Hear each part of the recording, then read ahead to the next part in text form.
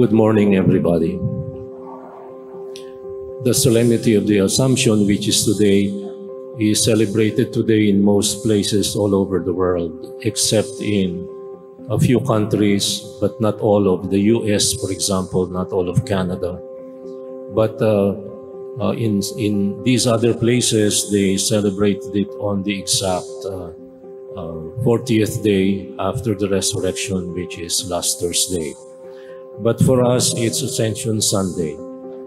I have to tell you uh, at the start that ascension, the ascension of the Lord, might not be that easy to understand, and uh, we may not be fully aware of the full import or the meaning of the ascension of the Lord.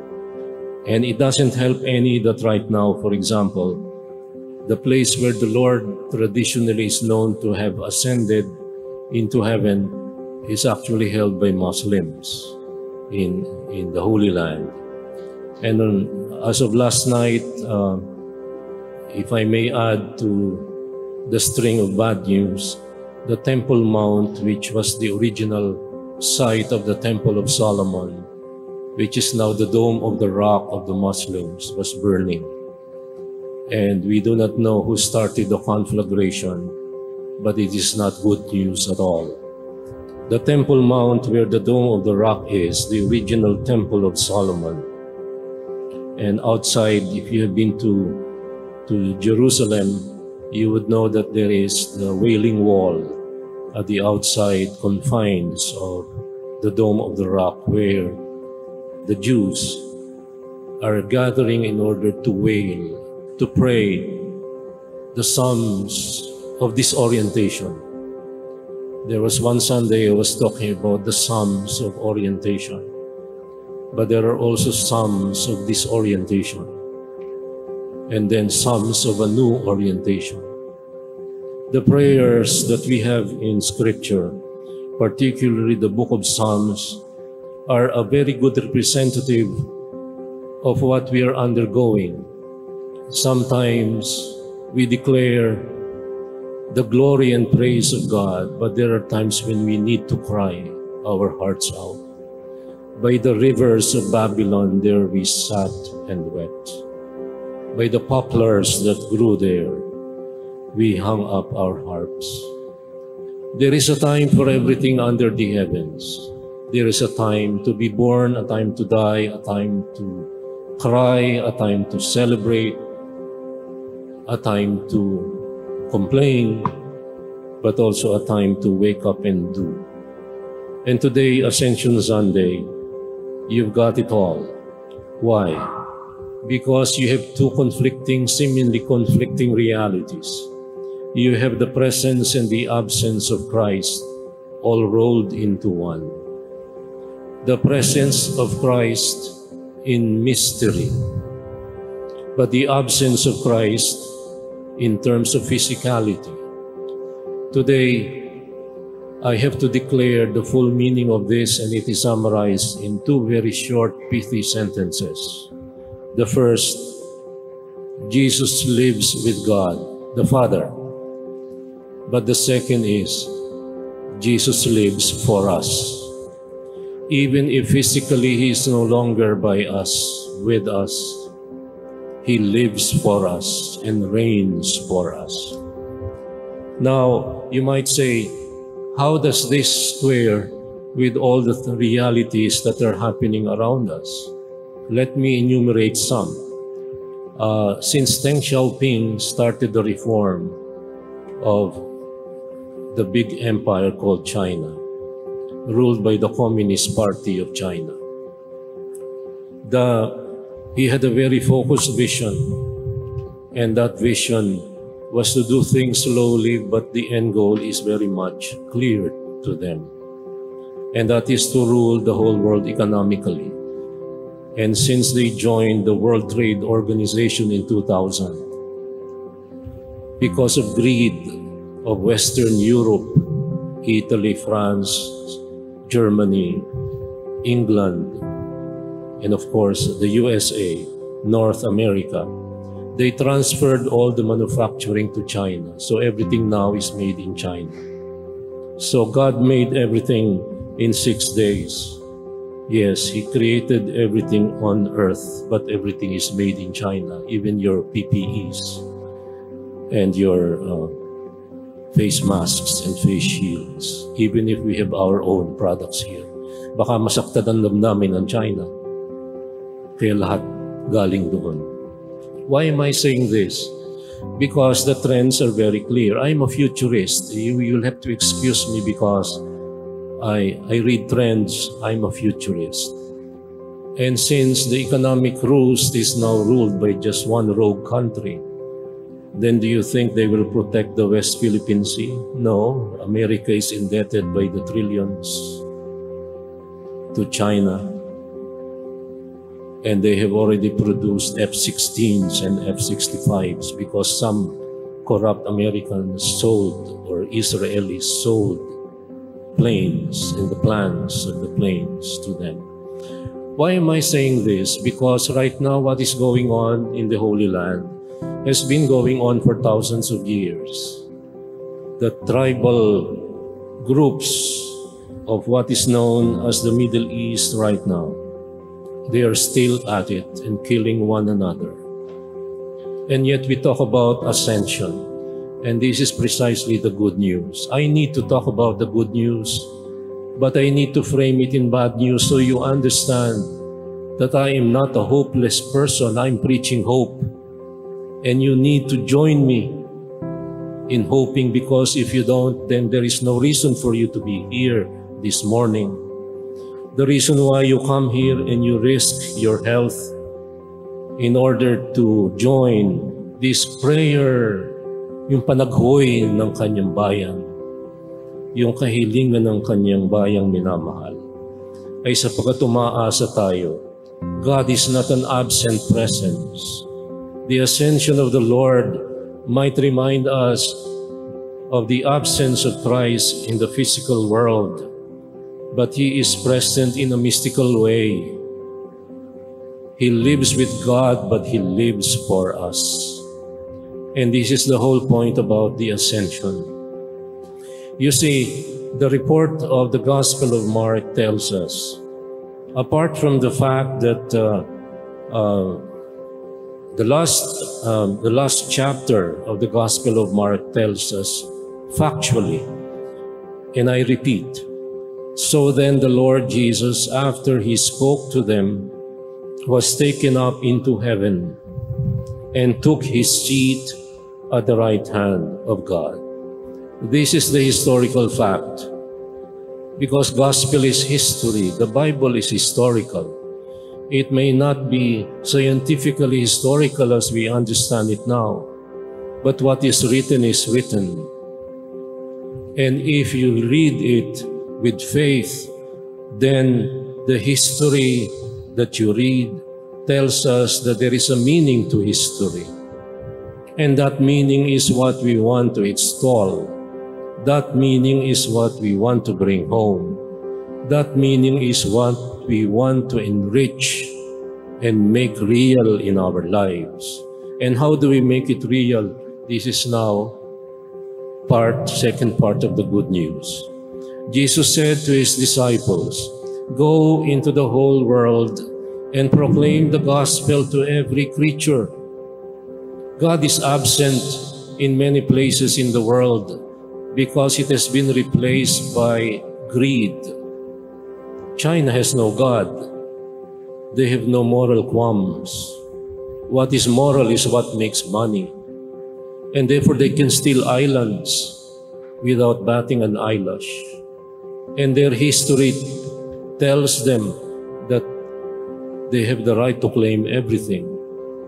Everything south of them belongs to them, and we are southeast of them. My dear brothers and sisters, what is now the hope that I'm talking about? The hope that I'm talking about is not wishful thinking.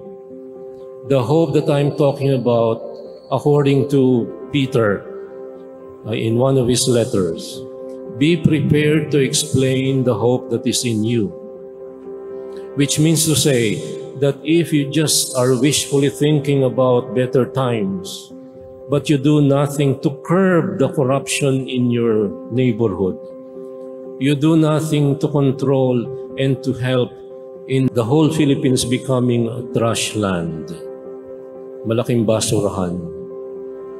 We are number three in the world in producing plastic trash. China is number one, always number one. Number two is Indonesia. And the Philippines is number three, followed by Vietnam. We create a lot of plastic trash. But no one feels guilty about it. And uh, I know I'm also part of this problem because whenever we order things online, I am aghast at the amount of plastic trash that we create. Yung in-order ninyo nakabalot sa plastic, ang binalot ay plastic pa rin, yung plastic ay binalot ang kahon, yung kahon ay may isa pang kahon, at sa loob ng kahon ay may isa pang plastic. Anong ginagawa niyo? Binubungkus ninyo, tinatapon. That's all we do. And we create so much trash. And many of the things we order made in China are all what they call in Italian merce di scarto. Trash.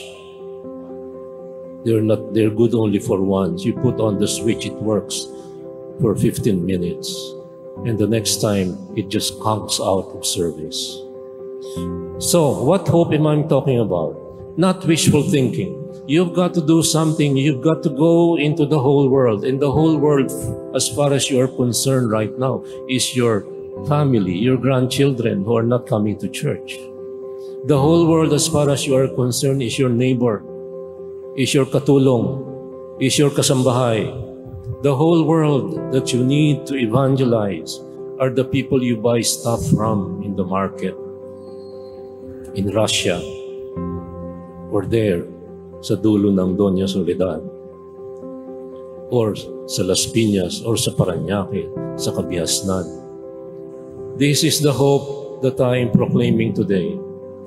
The hope that I am proclaiming today is not just sitting nice and pretty in your prayer room and praying kilometrical rosaries, but you do nothing about it. Prayer is good. I pray on average five or six rosaries a day since the two lockdowns began. And uh, there are and there is always every day an increasing number of people who ask for my prayers. I cannot answer their private messages because uh, just answering them has become a chore for me. And therefore some I just like and put the heart, pinupusuan, and that's all I can do. But I will have to ask you, what are you doing? I say this because, and I talked about this last week, many religious don't teach anymore. They have decided to do administrative work. So many priests are not teaching in classrooms anymore. I am not, hindi ako nagbubuhat ng sariling bangko, but the only time I stopped teaching in a classroom was when I was doing studies. And yet I was still preaching on weekends and forming groups in Northern Virginia and in Baltimore and wherever I went in Guam and elsewhere. So, you have here the reality. Jesus died. That's a historical fact. Jesus rose from the dead. Another historical fact. Jesus ascended into heaven. He lives with the Father and the Spirit, but He lives for us in the Spirit. And therefore, the Spirit is now the one that we hold on to and call to our side. He is Paraclete. We will celebrate that next Sunday. He is Paraclete, and Parakletos in Greek means the one you call to your side to stand by you, to defend you, to comfort you and to tell you and lead you into all the truth. The truth may be hard to accept. I, as a futurist, I, I don't even want to venture into my predictions, but the handwritings are on the wall. all of Southeast Asia is under the hegemony of that rogue nation. Most of the countries of Africa, most of the countries of South America, even Australia is buying a whole lot of stuff from them. Iron ore, steel, all the iron ore are, are, are taken from Australia, in the Philippines, Laos, Cambodia, Vietnam, everywhere. And then we buy them back in terms of steel. So all the buildings going up right now are made with steel from China. And that's how rich they are. So nababayaran ng mga gobernador, kaya napapatag ang mga bundok, nababayaran ng mga barangay, nababayaran ng mga mayor. It's all about money. And therefore, we do need to wake up. We do need to strengthen our hope. But be prepared to do, not only to talk about the hope that is in you. Go into the whole world and proclaim the gospel to every creature. And the promise is this, and I will end with this whoever believes and is baptized will be saved and whoever does not believe will be condemned. At the end of the day, it's not America, it's not Russia, it's not China who will save us, it's God. And we are all called to be with God. And Jesus right now, who is with God, lives for us and gives us the power to claim what He has given to everyone. The universal call to love the universal call to salvation. At the end of the day, there won't be Israel, there won't be the Jews and the Muslims and the Christians. There will be only one family under God. America has, has lost its identity. One nation under what? Under Biden? Under Trump? No. When the founding fathers started America, it's one nation under God and even the dollar in God we trust, it doesn't make sense anymore because they've thrown God out of the picture. So in gold we trust, yes, not in God. Today, let us bring back our faith and hope and love. Whoever believes and is baptized will be saved.